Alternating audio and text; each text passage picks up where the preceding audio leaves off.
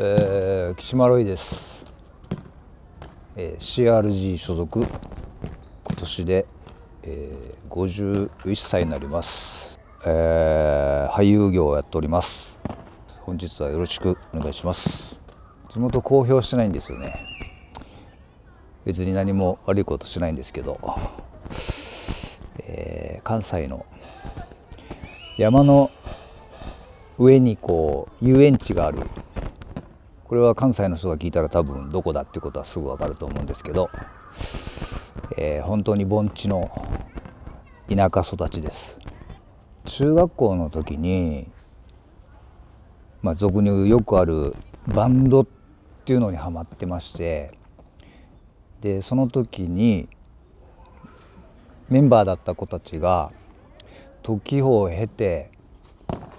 吉本さんが初めて音楽を手掛けるっていうバンドのオーディションで合格して吉本からデビューすることになってでその時に僕はもう東京にいたんだけどその子たちからライブを見に来いっていう連絡が来て当時どこだったかな？7丁目劇場だったかなどっかにとにかく見に行ったんですよ。で昔一緒にバンドやってたやつらがなんかステージに立っててなんかその時になんかああいいなと思ってその日に仕事辞めました。でそいつらのとこに東京の東中野かなんかでねなんか狭いところにそのメンバーの4人が住んでてそこに転がり込みましたね。えー、っと原発の仕事原子力発電所を作る作業員の仕事をして日本中をこういろいろ回ってるっていう原発ジプシーってやつですね。挨拶。挨拶。朝の挨拶。終わった時の挨拶。あの佐藤浩市さんの付き人をやらせていただいてて佐藤浩市さんと山崎努さんって何度もこう親子で共演されているので僕もなんかすごい楽しみで行ったんですけどもう本当の親子みたいにお二人が全然喋らないんですよ。おおぐらい最初の。でもなんかカメラ回ると山崎努さんが久しぶりに会いに来た息子に対してこうビールでも飲むかみたいなセリフがあってもう本番になると全部セリフをはしょっていくんですよ。おい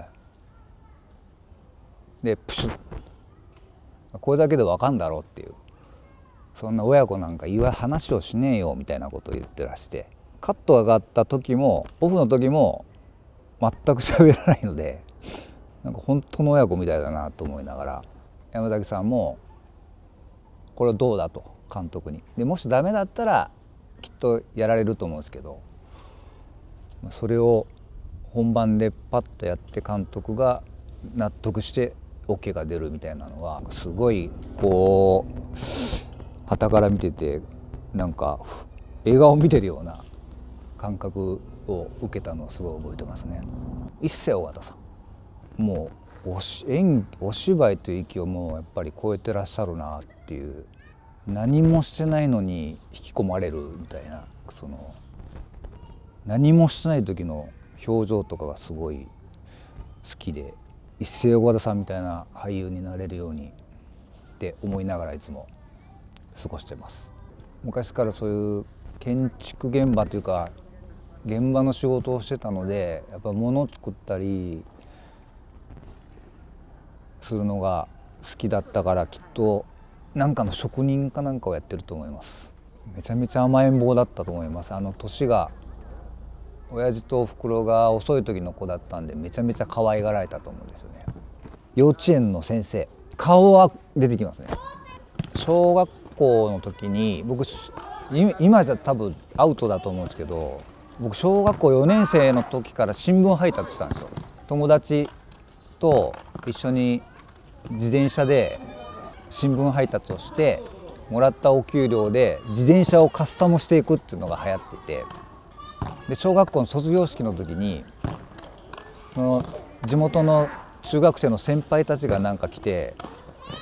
こう運動場に並んでたら部品を売りに来てました先輩たちが。震災と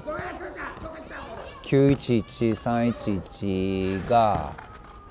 なんか子供ながらにこう想像できる範囲を超えたのがあの映像だったので初めて出演したドラマが安室ちゃんが主演でした。コロナになってちょっとやったことなかったことに手出そうと思ってゴルフに行ったり、まあ、サーフィンに行ったりなんか田舎を旅したり。でやっぱゴルフが一番今あれタバコ吸える酒飲めるで密にならない。今一番適してるスポーツじゃないかなと思って。やっぱり戦争とかになっちゃうんですかね。あと映画。うん。ドライブ・マイ・カーとかが頑張ってるし。日本の映画がもっともっと。海外で評価されるようにならなきゃいけないなと思いますし。戦争でいつどうなっちゃうか分かんないで。現実にもそう思えるんで。何かこれって決めずにやっぱり楽しみながら生きていかなきゃなって思いながら生きてます。小津小津安二郎監督がやっぱり今あ大好きでそれで鎌倉にお墓参りに毎年行ったりするんですけど今小津さんの映画とか見てると日本語がすごい綺麗だったりなんか何でもない話なんだけど見入っちゃうっていうあとその絵の綺麗さだったり説明がないんで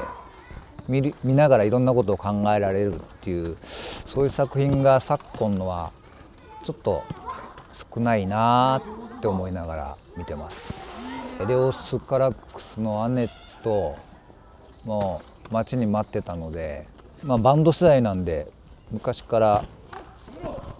そのロックバンドを聴きながらルースターズとか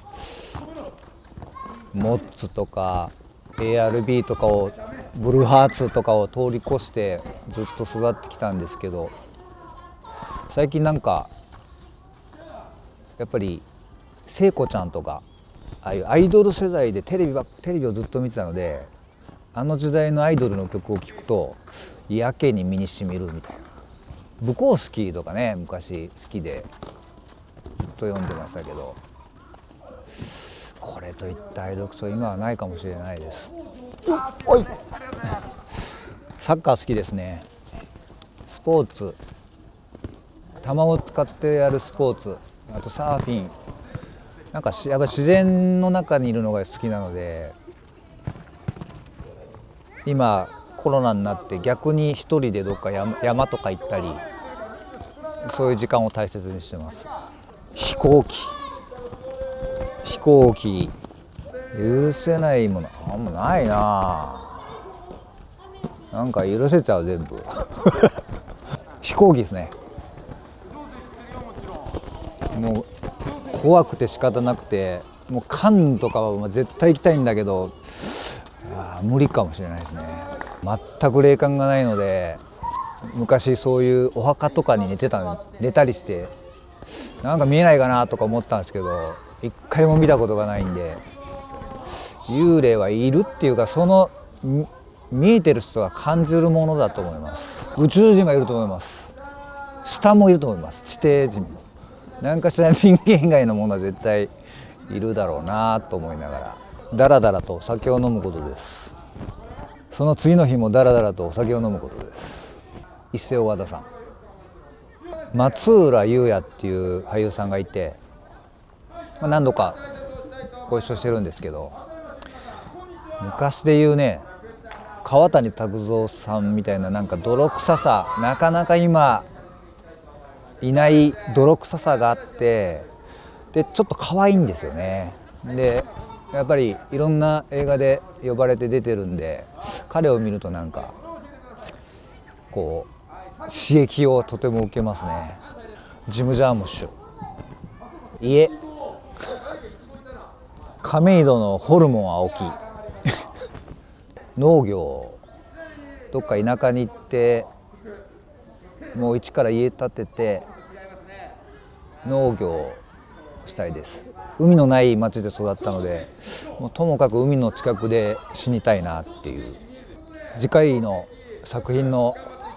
飛行機に乗るんですけどその渡航のための準備をします。東京も四半世紀ほど住んだんでそろそろ田舎の方になんか何にもないとこ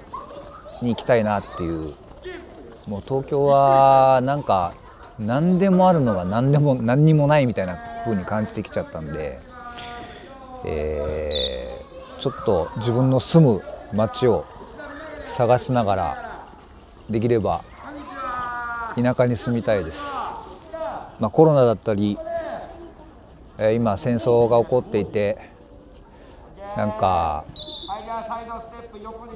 こんな時代にあんなミサイルが飛び交って人が死んでいくのを毎日毎日テレビで見ているんですけどまあそうですね。一日でも早くそういう争いが収まって、まあ、戦争はなくなることはないとは思ってるんですけど、えー、戦争がなくなることを願う気持ちはなくさないように、えー、僕も残りそんな長くはないと思ってるんで、えー、ラブピースを恥ずかしがらずに声に出して、えー、生きていければなと思ってます。なんか結局昔そんなことを歌ってるバンドばっか聴いてたのにかっこいいと思っただけで内容は絶対分かってなかったんですよね。チェルノブイリのブルーハーツが歌を歌っててその後に僕原発で仕事しますからね 刺さってなかったんだみたいな。